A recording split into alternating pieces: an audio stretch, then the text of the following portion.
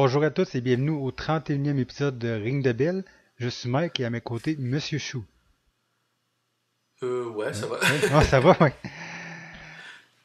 Un peu fatigué, la tête dans le cul, mais bon, ça, ça va aller. On va changer les idées. On va gérer, on va gérer. Donc, euh, un nouveau mois, un nouveau pay-per-view, Payback. Euh, je sais pas. Bah, ça, ça- ça va, ça va encore une fois trop vite. Oui, mais surtout que je pense qu'il va y en avoir un deuxième ce mois-ci, un pay-per-view. Oh. Mais- Oh là là. Je sais pas pour toi, mais j'ai l'impression que la carte est pas vraiment intéressante. Je veux dire, il manque, premièrement, de gros, gros combats importants. On, a- on dirait plus un Inuros de 1996. Je sais pas si tu te souviens un peu le genre de carte qu'il faut avoir. Bah, eh ben, écoute, attends, au moment où tu dis ça, je regarde. Ah ouais, quand même. Wow, ouais, il n'y a, rien- y a rien de vraiment intéressant. T'as surtout, sur 5 matchs, t'en as deux qu'on a déjà vus, un troisième euh, euh, qui a déjà été fait aussi le mois dernier, il me semble, en pré-show, Mhm. plus ou moins. Euh, t'as le match des divas qui ne représente aucun intérêt. Et puis t'as deux matchs que, bon, c'est des matchs de mid-carter, mais tu te dis que potentiellement ce sera peut-être les meilleurs de la soirée. Oui, ça devrait, d'après moi. J'ai l'impression que tu parles des championnats intercontinentaux et des États-Unis. Voilà, ouais. Et ce qui est, totalement paradoxal, parce que généralement, bah, c'est pas censé être ça qui te fait acheter du pay-per-view. Exactement. Mais justement, le gros combat principal qu'on aurait pu avoir, il est annulé avec la blessure de Daniel Bryan. Comme on a vu hier, Stephanie McMahon a donné un ultimatum jusqu'à dimanche pour que Daniel remette la ceinture, sinon Nikki va être envoyé. Donc, Oh, je sais pas. Je sais pas qu'est-ce qui va se passer, s'il va vraiment la remettre ou s'il va réussir à trouver un moyen de la garder. Personnellement, je trouverais ça dommage hein, qu'il la remette parce que ça a pris tellement de temps avec qu'il aille que ça serait tout à recommencer. En même temps, s'il pour être absent longtemps, il faut quand même avoir un champion pour représenter la compagnie. Donc, euh, peu importe la décision. Ouais. Si je pouvais me faire juste faire un seul commentaire, j'aimerais bien un jour pouvoir monter une entreprise, tu vois, euh, mais, mais vraiment prendre les, les, les employés les plus pourris de la terre. Mais ceux que je prends en premier, c'est les scripteurs de la WWE. Et, et aussi, et aussi ceux de la TNA, qui franchement. Putain, il se surpasse. j'ai là quand au moment où t'as prononcé, euh, au moment où t'expliquais un peu les, euh, les histoires actuelles, euh, j'avais une tête qui me venait à l'esprit, c'est la fameuse te- tête de Jim Cornette, le- la fameuse Oui, Cornette ou l'expression euh, WTF. Voilà, mais c'est exactement ça quoi. Là, hein quoi? C'est quoi ce bordel? Mais euh, Ah, C'est violent. non, je sais pas qu'est-ce qui se passe présentement, mais on on n'est pas dans la meilleure, meilleure des périodes. Ouais, c'est clair. euh, Même moi, en étant euh, sous antidépresseur et sous antidouleur pour calmer mes douleurs à la main, bah j'arrive à trouver ça euh, n'importe quoi. hein. Mais est-ce que tu as entendu parler de la situation dans laquelle la WWE se trouve pour cette année? Bon, il paraît qu'ils perdent de la thune. Oui, mais ça, non? pas seulement ça, mais ça serait dans toute l'histoire de toutes les compagnies de lutte, ça serait la pire, pire année en perte financière qu'on a jamais vue, sauf à l'exception de la WCW en l'an 2000 qui avait perdu 60 millions. À ce point-là? Oui, à ce point-là, on, on rapporte que si ça continue comme ça d'ici la fin de l'année, il pourrait perdre entre 45 et 54 millions la WWE. Ah ouais, mais il paraît que Vince, c'est un milliardaire. Il- Non, mais il n'est plus milliardaire parce que le- les actions de la bourse ont baissé, ça fait une semaine ou deux, puis il a perdu plus que 300 millions en une semaine. Ah, euh, J'y crois pas beaucoup. ou, ou- ou alors il a jamais été milliardaire. Et Oui. c'était du bluff. Non, il l'aurait été, je pense qu'il n'avait parlé sur Forbes de la perte qu'il a eu. Bah, il me semble que j'avais lu un bouquin, moi, où il disait que c'était du pipeau, il a jamais été milliardaire. Millionnaire, oui, mais jamais milliardaire. Enfin, Il Malgré la grosse perte financière qu'il vient d'avoir, il lui reste encore 700 millions dans son compte. Donc, Ah ouais, d'accord. ça, il est encore à ça va. l'aise. Bon, il y a encore de quoi finir l'année, quoi. je. Oui, je pense qu'il n'y aura pas de difficulté. C'est vrai que moi, avec mon gros salaire de 600 euros par mois, bon, tu t'approches. euh, Ah non, non, mais euh, je l'ai- dépassé, je le dépasse. Deux mois de salaire, je dépasse. Donc, si la WWE est à vendre, tu vas l'acheter. Je pourrais, mais bon. C'est pas assez rentable, tu vois. tu vas laisser la TNA l'acheter. Ouais, t'as tout compris, voilà. Donc, on va commencer avec le. Ou alors, ou alors, ou alors, j'achète les deux, et je mets Vince Russo à la tête carrément de la WWE. Parce que tu veux que la compagnie fasse faillite le plus rapidement possible pour la vendre à la nouvelle compagnie de Jeff Jarrett? Non, parce que j'ai envie de me marrer, je suis un déglingo. Euh, eh, c'est connu, les riches ont de l'humour. Tant qu'à faire les choses tout croche, on va le faire au maximum.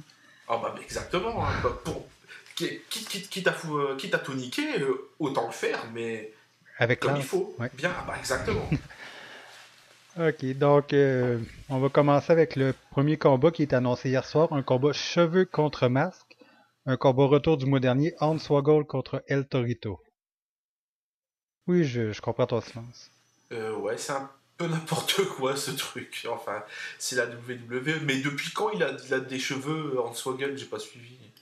Ben, il est rendu quand même avec une mini crinière, si on pourrait dire, mais... Ah ouais, le mec, Ouais. euh, carrément, il a mis du pétrolane. Ouais. Ah, vous connaissez aussi le pétrolane, Québec Ben, tu peux toujours l'expliquer ou... Tu connais? Ben, Non, du tout. C'était une lotion, soi-disant, qui permettait de faire repousser les cheveux. Mais c'était de la merde, hein. c'est- clair. donc, ouais, j'ai déjà entendu ce genre de produit-là, mais le, ce nom-là, ça me disait rien. Si, si, si, pétrolane. Oh mon dieu. En plus, il faisait des pubs qui étaient vraiment euh, de la merde. Bon, enfin bref, on va revenir On va pas... On va revenir, ouais. Ouais, je digresse, je digresse, comme d'habitude. Donc, euh, le combat de l'année. Ah ouais, euh, je pense, euh, WrestleMania 31, euh, on va tirer Oui, quoi. c'est- le main ouais. event. Carrément, carrément. Ah ouais, là, c'est. C'est c'est bien, c'est bien. Déjà, je pense qu'on peut s'entendre qu'ils perdront pas le masque de El Torito vu que ça fait quand même partie de la gimmick de, des Los Matadores. Le, le pire, c'est qu'on en est à essayer de commenter un truc comme ça. C'est ça, moi, qui me. oui, Ça qui, ça qui me chiffonne, en fait. on fait le travail jusqu'au bout, on parle des prédictions, on, on laisse Voilà. rien de côté. Ah, si j'avais su, j'aurais dormi beaucoup plus tard. hein. Ouais, mais ça- voilà. Euh, bon, on va, dire aussi El Torito, parce que en Swaggle, bon, quelque part, tout le monde s'en fout. Voilà. Donc, euh, Sauf on pour, va- même, même pour El Torito aussi, hein, quelque part. Ils, peuvent, ils peuvent même le couper et le faire, et le faire frire dans une paella, on s'en fout, quoi. c'est clair.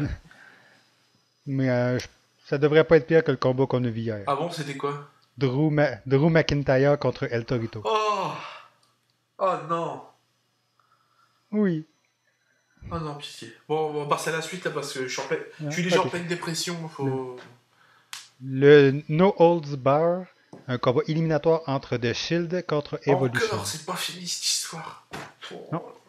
Mais euh, la petite note en bas du contrat qu'on signait hier, je pense que c'était plus divertissant que la rivalité. Tu me l'as montré tout à l'heure euh, hors, an- hors antenne. Est-ce Oui. que tu pourrais la relire? Parce que je pense que ça va rester dans, dans, les, dans les fesses de l'histoire et non pas dans les annales. Oui, euh, je faire ça. Euh, Donne-moi juste une petite seconde. Ok. Euh, Si- si oui, je, le viens de le retrouver. là. Ça dit que la WWE est un génie créatif et que le- toute la création de l'univers a été façonnée par ses mains laborieuses et que tous les êtres mortels devraient louanger son nom et son image. Euh, sans être la mec, le, le mec le plus religieux de la Terre, c'est pas ça qu'on appelle un blasphème? Hmm, Entre autres, oui. ah, Oh. ah, je suis des- Moi, moi c'est ce que Mais je vois. hein. Euh, cha- cha- cha- chaque, mortel devrait louer. euh, Louanger. Pour moi, c'est- pour, moi, c'est un blasphème, quoi. Carrément. Mais on pourrait, on pourrait dire qu'ils ont un assez grand complexe de supériorité aussi. Oui, aussi. Et de- je pense que de la part d'une compagnie qui se veut être maintenant plus de. avoir une image euh, meilleure aux yeux du grand public, euh, je pense que ça va leur, ça risque de leur tomber sur le, la gueule, ce genre de petite Oui, plaisanterie. mais c'était pas. On n'a pas vu le contrat en gros plan à la télévision, mais il y a quelqu'un qui a quand même réussi à obtenir une copie de la première page. Non.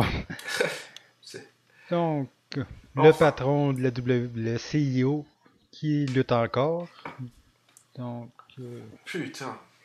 Ouais. Désolé pour ce. Non, non, c'était bien senti. mais- Oh là là.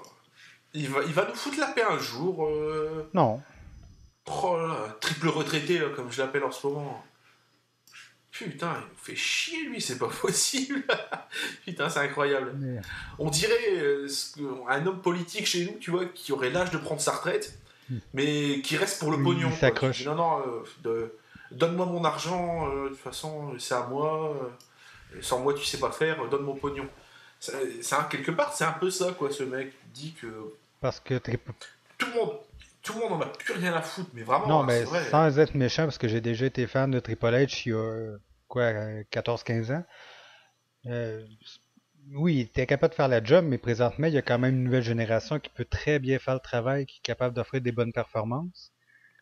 Ah, surtout qui remonte l'évolution. Dedans, t'as Batista, un mec qui est parti pendant 2 ans, 3 ans pour faire carrière, euh, à de dire je m'en fous de vous, euh, fan de catch, je, me casse. Et le côté, t'as Randy Orton, un mec qui fait des résultats euh, plus que décevants quand il s'agit de vendre un pay-per-view. Alors t'as un retraité, un mec qui s'est cassé et un mec qui vend pas. En quoi ça va aider le Shield? Ça n'aide rien, déjà pour commencer. Non, c'est sûr. Je suis désolé, je suis désolé. Moi je vois pas l'intérêt, encore une fois, de ce genre de truc. C'est rigolo de faire du du clan contre clan. Mais il faut qu'entre guillemets, le clan des jeunes, tu leur mets quelque chose qui est crédible, qui tient la route.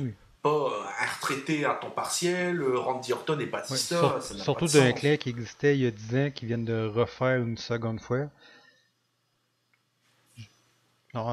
Ou, alors, ou alors, dans ce cas-là, tu fais le Shield contre la NWO. Pourquoi pas? Non, mais c'est vrai. Hein, Quitte à faire venir des retraités, autant prendre les meilleurs. Ou ce serait mieux un groupe légendaire, comme tu dis, même les, les Four Horsemen, un coup parti. Exactement, mais, tu fais ça sur des durées très courtes. Et déjà le mois dernier, ça n'a pas été génial. Hein, ben, oui, ça, ouais, ça commençait à WrestleMania. Je pense qu'il avait su refait un combat à Extreme Rules. Si, si, effectivement, le mois dernier, hein, il me semble bien. Hein. Oui, donc ça arrête pas. Oh. non, c'est vrai, à WrestleMania, c'était pas eux. Euh, il y avait eu Triple H le main event. C'était pas encore fait, donc ce serait la deuxième fois. Encore une fois, hein, c'est. Mm. Mais bon. Je comprends pas l'intérêt. Bon, on va dire le Shield en espérant que cette histoire se termine parce que. Oui, surtout si on dit que c'est. Surtout Roman Reigns qui serait vu comme un futur champion du monde, il faut penser à l'élever un jour. S'il bah, perd, je, perd justement contre les, le trois genres de personnes que tu as dit, un retraité, une personne qui n'a pas grand chose à faire de la lutte, ou un autre qui vend pas. Ou alors, ou alors, il risque peut-être de fonder un nouveau clan, le New Evolution, si, entre guillemets, il viendrait à trahir ses petits camarades, pourquoi pas, étant donné que le Shield actuellement il est face, ou un groupe comme ça, face, je vois pas tellement l'utilité, vraiment. Non, hein. non c'est un peu étrange. Donc, euh, c'est une possibilité, même si j'ai pas même si c'est pas que j'espère pas y croire, c'est que j'ai pas envie d'y croire, parce que c'est tellement. Mais bon. Donc, euh, moi, je vais dire le Shield aussi, moi. Par, désespoir de cause, c'est ça? Ouais, c'était à peu près ça, une façon de dire. Euh, un combat que cette fois-là, vraiment, ça fait la troisième pay-per-view de suite. le Last Man Standing, John Cena contre Bray Wyatt. Alors là, monsieur, je, là, là, je suis pas content. Mais le pay-per-view, bon, je vais l'acheter quand même. non, non, mais sans déconner, ça fait trois fois. Le premier était pourri, le deuxième, il est, le deuxième était pas génial. D'ailleurs, je me suis endormi devant ma télé en regardant ce match. Hein. Je l'ai rematé le lendemain, je me suis fait chier. eh, ça suffit, pas trois, fois, pas, trois fois en trois mois, les mecs, mais vous êtes possédés ou quoi? Ça n'a pas d'intérêt. Même la meilleure euh, rivalité de John Cena, c'était contre CM Punk. je pense pas que tu avais trois fois John Cena contre CM Punk d'affilée à trois pay-per-view qui suivent. J'ai pas souvenir me souviens de ça. Hein. Pas, Je me souviens pas. C'est pas que les lutteurs sont pas intéressants tant que tel parce qu'ils ont quand même du charisme, ils sont bons micro. Mais, mais c'est que ça, ça, ça colle pas ensemble, dis donc, c'est incroyable. Non, c'est sûr. Euh, le délire du dernier pay-per-view avec les gamins euh, qui faisaient peur à Sinop, bah, c'est de sortir de la cage, j'ai trouvé ça débile. Mais est-ce que tu sais, l'enfer qu'il y avait au pay-per-view le mois dernier, est-ce que tu sais c'était qui? Non, c'est quoi? C'est le fils de Jamison. C'était un, comment je présente ça, un manager au début des années 90. Je sais pas, si il y avait des, des, lunettes un peu euh, pas cassé, je pourrais dire. Il y avait comme des euh, un ruban autour des lunettes pour pas les euh, pour tenir au milieu du nez. Non, je veux pas qui c'est. Non? Enfin, cette histoire, moi j'ai trouvé ça débile. Au plus ça avance, au plus c'est pareil. Hein, c'est une compagnie qui se veut euh, PG, je sais pas quoi. Ouais, tout public. Pardonnez-moi l'expression. Ah oui, il me dit quelque chose maintenant, lui. Ouais. Avec ses cheveux gras, oui, je me souviens. une compagnie qui se veut publique, euh, traiter de thèmes comme l'occultisme avec Bray Wyatt et sa clique, euh, c'est marrant, petite dose. ça commence à me gonfler, mais sérieusement, ça commence à me gonfler. Et je me dis que actuellement, c'est un peu normal aussi qu'ils perdent de l'argent, et surtout auprès des annonceurs, parce qu'ils se disent Attends, mais moi j'ai payé pour un, truc euh, tout public. Qu'est-ce que tu mets, ce que tu mets dedans là Ça n'a pas de sens. Oui, mais à la, limite, à, la limite, attends, mais mon raisonnement est simple. C'est un peu comme si dans un jeu Nintendo, ils te mettraient un rituel satanique. C'est la même chose, putain. Mais moi, ça, moi, ce genre de conneries, ça commence à me gonfler. Hein. D'ailleurs, Bray Wyatt, le personnage, il est très bien. Dans le ring, je le trouve très moyen. C'est juste une gimmick. Bray Wyatt, c'est juste une putain de gimmick. Mm-hmm, mais contre John Cena, il y a un potentiel sur le papier, mais ça colle pas. Ça fait trois mois qu'on le voit. Remettez, remettez-nous pas ça. Un last man standing en plus. Là, j'essaie de trouver rapidement pour le, le PG qu'est-ce qu'ils permettent, mais je pense que c'est surtout que ça, ça, empêche, par exemple, les, euh, le langage vulgaire ou la nudité ou euh, ce genre de choses-là. PGs, restrictions, restrictions. Hop, alors, euh, je vais essayer de trouver ça, ça pourrait être intéressant. Un PG, ça veut dire que le film peut pas être vu par des personnes sous les 10 ans, que c'est aux parents de décider si le, le film est approprié ou pas. Euh, ça, il peut pas avoir de scène de drogue illégale. Euh, ça peut avoir euh, certaines violences, mais aucun contenu sexuel ou aucune nudité. Euh. Donc, donc si j'ai bien compris, bon, tu, pourrais, tu pourrais montrer un truc. Ce serait la limite, que, ce qui se passe. Ah, non mais c'est pas que c'est la limite, c'est carrément dessous de la limite. Hein. Donc, à la limite, tu pourrais montrer un truc qui, qui serait totalement aberrant pour quelqu'un qui serait même un petit peu croyant, et ça pourrait passer. Faut pas. Et après, on, dit que les États-Unis, c'est un pays puritain. Ben, dis donc. Non, mais ça, c'est. Je me souviens, il y a peut-être un an ou deux, il y a une femme qui s'est appelée à la TV en disant que c'était ça devrait pas être permis de montrer deux personnes du même sexe qui s'embrassent à la télévision parce que des personnages sont homosexuels, parce que dans la Bible, c'est ils sont contre ça, donc. Euh, ouais, mais ça n'a rien à voir, là. Non, je, sais que ça n'a rien à voir, mais je veux dire, c'est juste pour montrer qu'ils sont, euh, comme tu dis, qu'ils sont euh, puritains ou. Euh, ouais, enfin, puritains, puritains. Euh, ils sont faciles à. à, à à s'offusquer, je pense. Ouais, à s'offusquer, ouais, c'était le terme que je cherchais. Je, je, pense pas. Honnêtement, je pense pas. Je pense que c'est pas dire une minorité, mais. Tu sais, quand tu vois les mœurs maintenant actuelles, tu te dis que le, mec qui a un tant soit peu de bon sens, euh, il est bien l'écart. Hein. Mhm. Enfin bref, donc pour revenir, Sinob et Wyatt, ça, ça, fait chier, quoi comme tu disais, on dirait une carte de In Your House où, où en fait c'est quasiment la même merde euh, pendant 3-4 mois, quoi. Où on te change juste les stipulations, c'est ça? Oui, c'est à peu près ça. C'est comme un peu le jour de la marmotte, mais avec des petites variantes. en plus, il y a un truc qui me choque. On a eu Extreme Rules le mois dernier. Ouais. Pourquoi tu as un combat No Holds Bar maintenant et à Last Man Standing? Normalement, Extreme Rules, c'est pas le moment de l'année où tu fais, des, tu fais une carte.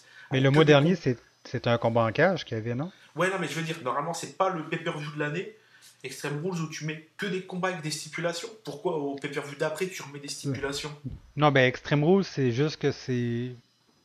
Plus tout est permis, tandis que là, ils peuvent mettre quand même des, stipulations comme combat de l'échelle ou euh, combat de soumission, par exemple, même si on n'a pas vu depuis longtemps, mais. Mais la semaine standing, dans le fond, c'est moi, c'est vrai qu'il y a des armes de permis dans le last man standing, c'est juste que l'autre, faut qu'il soit au sol pendant 10 secondes consécutives.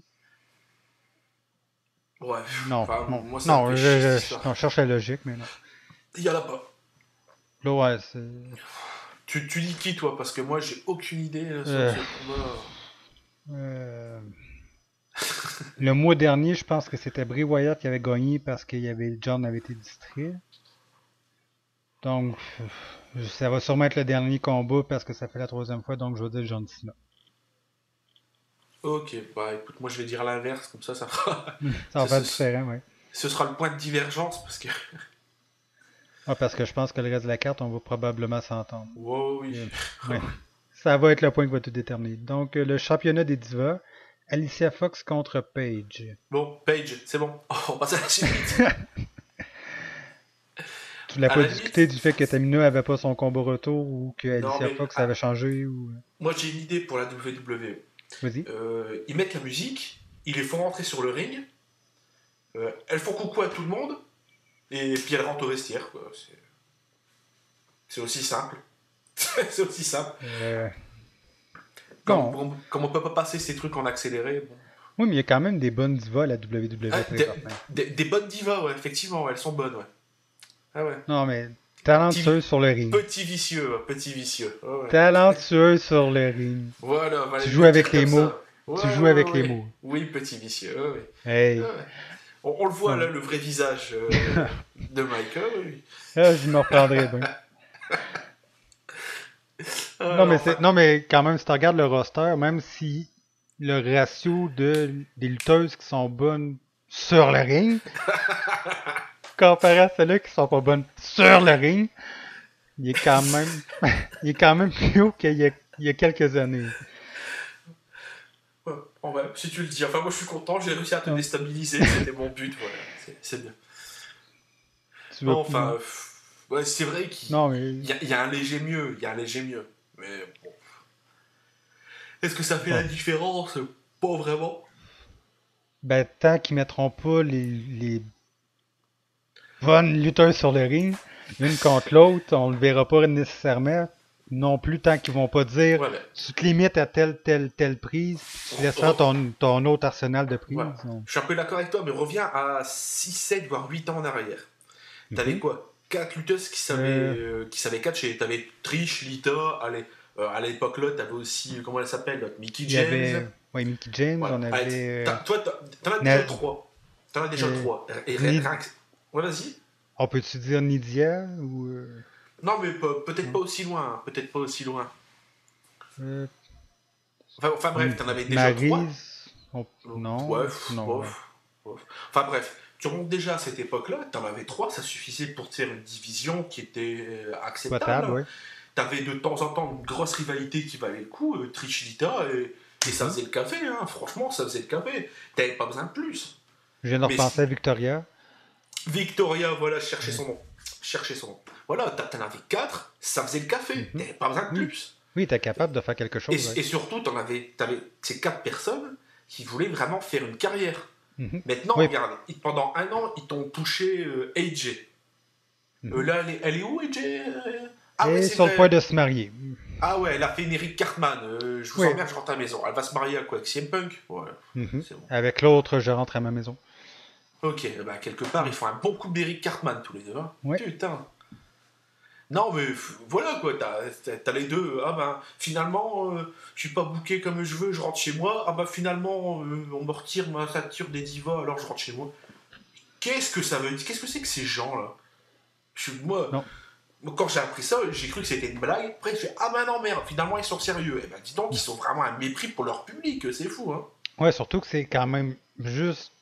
Même si ça veut dire quelque chose, c'est un accessoire quand même, la ceinture.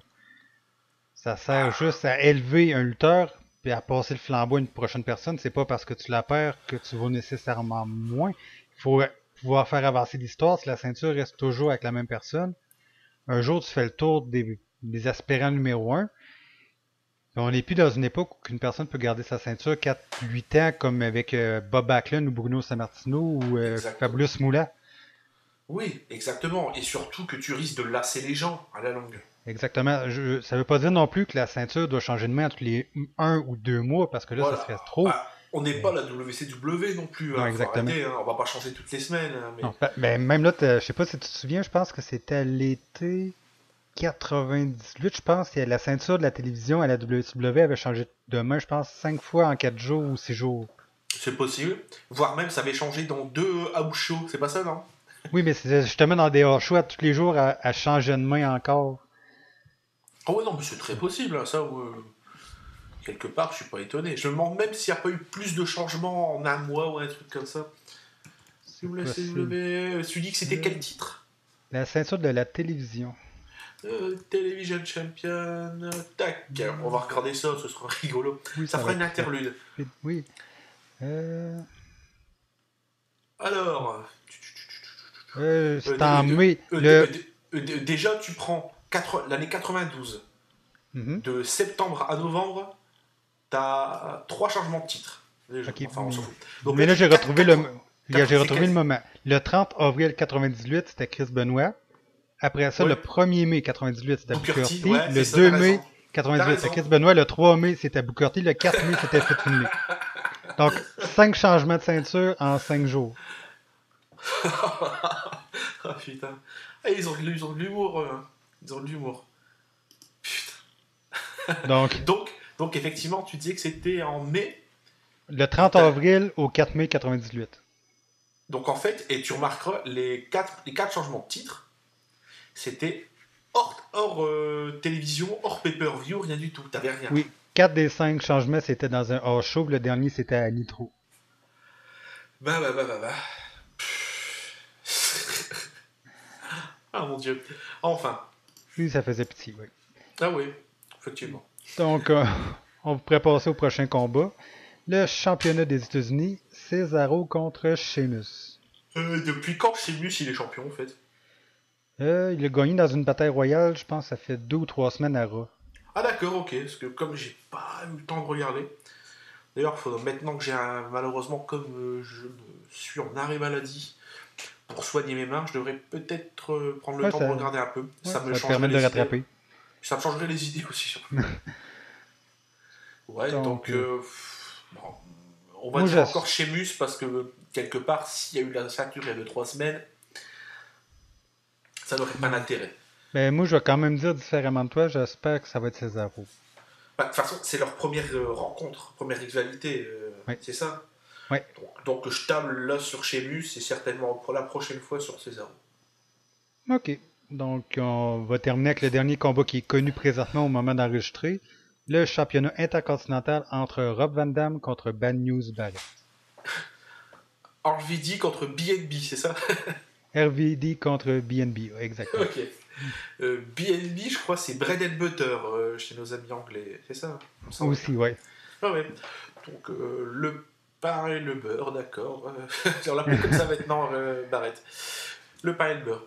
Euh, pff, là, ça fait pas longtemps qu'il a la ceinture aussi, lui. hein. Non plus. Bah, c'est pareil, il devait pas poursuivre la rivalité entre Cesaro et Rob Van Dam Mais il y avait eu un petit début avec Cesaro, Rob Van Dam et Jack Swagger l'autre fois, mais Moi, on trouvé que ça... c'est, on disait que c'est tombé dans, dans l'oubli total. bah, moi, j'aurais trouvé ça plus intéressant que ces deux matchs. hein. Ah, carrément. Une- surtout une rivalité entre les deux, tu vois, où il n'y a pas de titre en jeu. Juste pour euh, monter Cesaro euh, bien comme il faut euh, aux yeux de la foule. Ça ne m'aurait pas dérangé, je te le dis franchement. Mais bon, on n'est pas, on pas scripteur, la logique de la WWE. Ouais. D'ailleurs, en parlant de logique, j'ai pas vu qu'ils ont. Euh, ils ont pas recruté deux lutteurs japonais, Kenta, j'ai pas vu ça il y a pas longtemps. Euh, oui, on fait des recrutements, ça fait pas longtemps. et Euh, Les noms, je m'en souviens pas par cœur. C'est officiel ça? Euh, ça court encore dans les rumeurs, mais Ok, ok, parce que. officiel, je pourrais pas dire. euh, Parce que putain, dire, euh, euh, que, que Kenta, euh, attention, c'est c'est- Euh, pas mal, hein, c'est même très bien. euh. Il y avait aussi euh, Prince David aussi. Oui, oui, oui, oui. Mais Kenta, attention, hein, c'est. euh, euh, je t'invite à aller regarder euh, sur YouTube quelques-uns de ses matchs. Tu vas voir que c'est. C'est pas mal, c'est pas mal.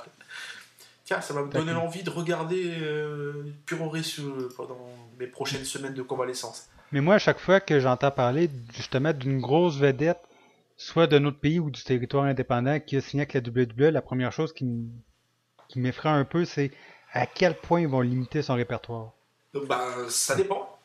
Parce Euh, que Regarde, CM Punk, Daniel Bryan, ok, ils ont limité le répertoire. Tu prends des matchs de Oui. CM Punk, euh, même Daniel Bryan à la Ring of Honor, ça n'a rien à voir avec ce que tu vois là. Mais Mhm.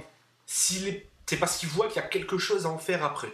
Pareil pour Mhm. Cesaro, du temps où il était sous le nom de Claudio Castagnoli de mémoire. Euh, il cartonnait, hein, franchement, il cartonnait. ouais, parce que. Pareil pour, euh, je crois que c'est Dean Ambrose aussi qui était sous le nom. euh, euh, je vais vérifier. Je me souviens jamais de son nom. Puis je vais, je vais trouver son nom. Je vais faire. D'accord, ok, c'était lui. John Moxley. Voilà, putain. J'ai même pas besoin de regarder.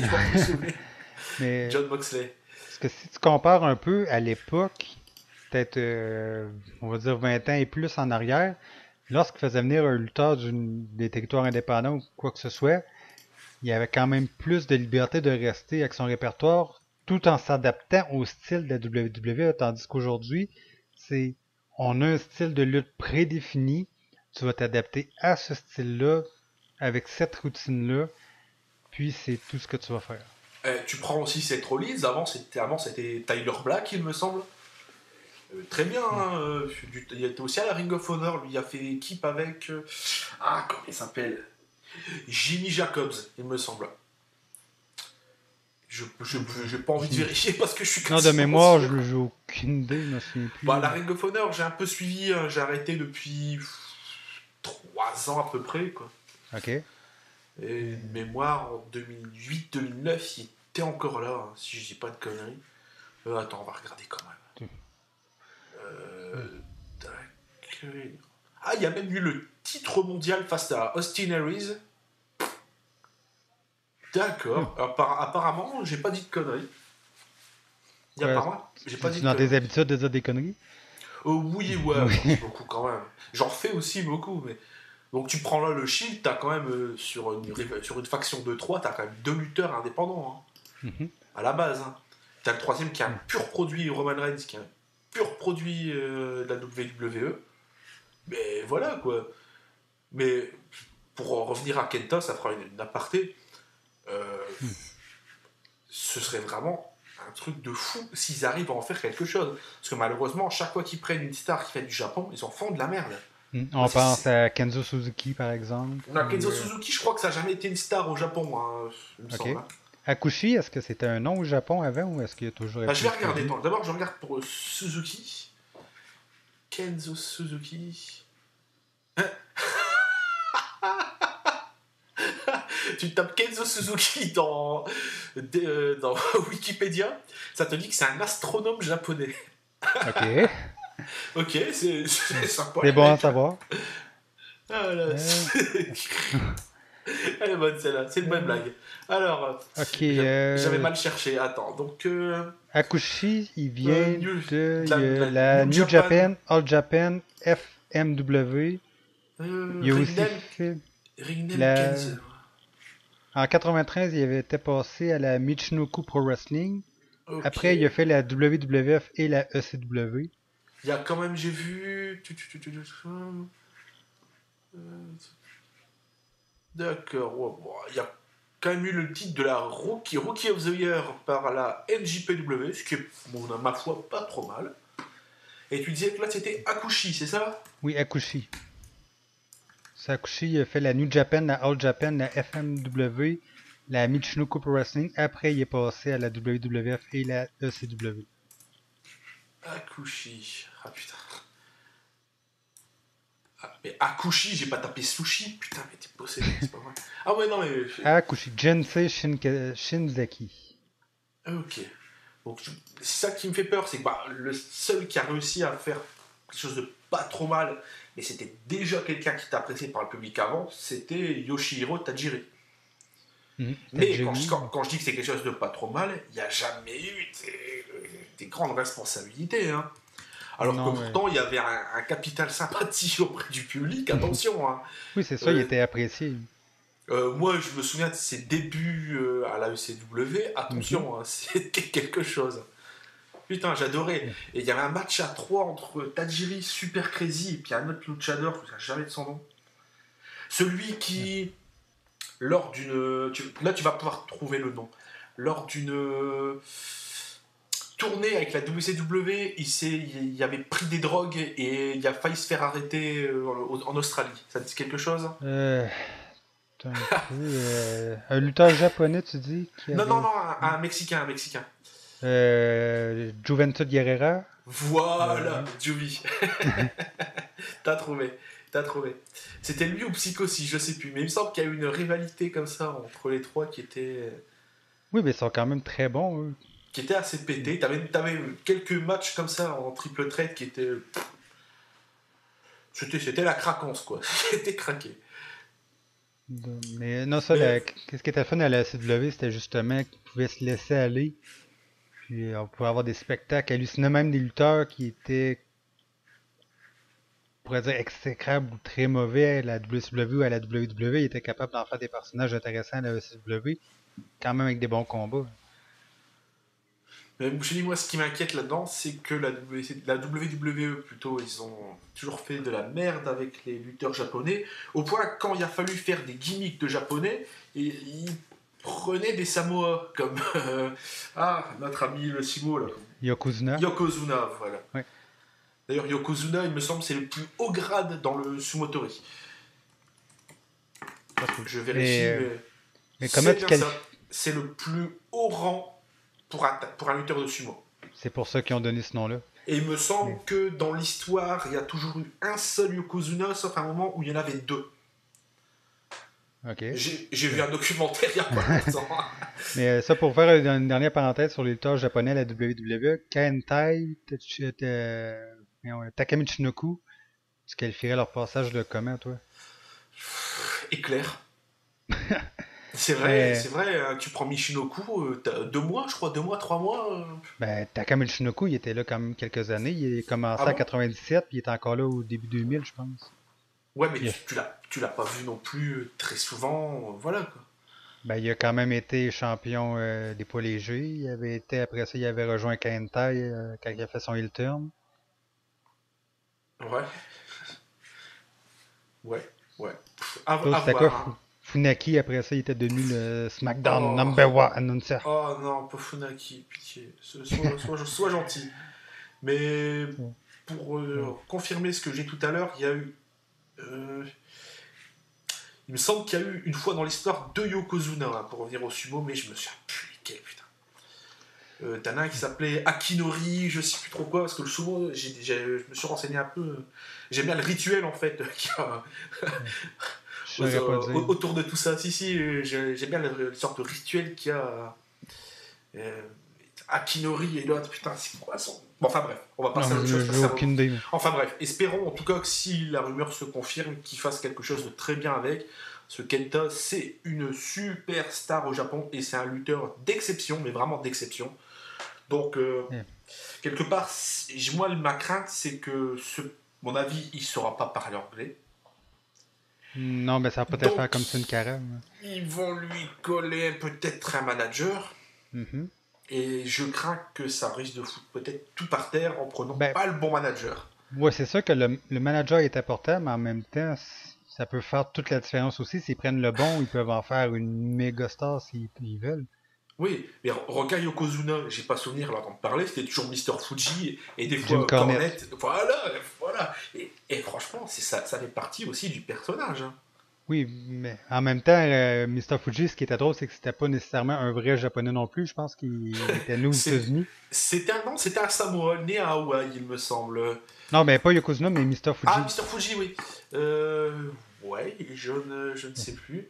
Mais c'était, euh, il s'appelait Ronnie Hawaï, il me semble, Yokozuna. euh, ouais, c'est ça. Ouais, Ouais. ouais. Ah, ouais, c'est bien ça. Donc tu disais Mister Fuji. Ouais, Mr. Fuji, c'est un Américain. C'est un ancien lutteur devenu manager. Euh, il est né à Hawaï. À Il est né aussi à Hawaï Ouais, à Honolulu. Ok, ok, c'est rigolo. Mais il était annoncé comme Osaka au Japon. Ok. ah, les menteurs. eh. Mais c'est pas Ah, les le seuls. Regarde, Santino Marella, il est canadien, puis ils font le jouer un italien. Attends, Euh, la résistance, à ses débuts, c'était des Français de France, c'était un Québécois puis un gars de la Nouveau-Brunswick. Attends, il y a un personnage dans Pokémon qui s'appelle Mister Fuji. Qu'est-ce que c'est ce bordel C'est quoi ce truc? Oui, il habite à la Fortville. Non, mais sans déconner, les mecs. Ils ont osé, putain. Un hommage. Non, à mon avis, c'est lors de la traduction, les mecs, qui sont partis en cacahuète. Ah ouais, parce qu'ils ressemblent absolument pas. Quoique, attends. Euh, on va vérifier quand même, histoire de... Ça a été mieux un hommage. Euh, il est chauve aussi, mais il n'y a, pas y a pas la barbe. Il n'y a pas la petite barbichette. non, non, non, ça, la barbichette, c'était Caris. non, il n'y a pas la petite barbichette. Et même dans le manga, attends, je regarde, non plus. Mais il y a bien un personnage qui s'appelle Mister Fuji. Donc Harry Fujiyama, euh, Mister Fuji. Oui, bien ça. exactement. En 1935. Euh, né à Hawaï, effectivement.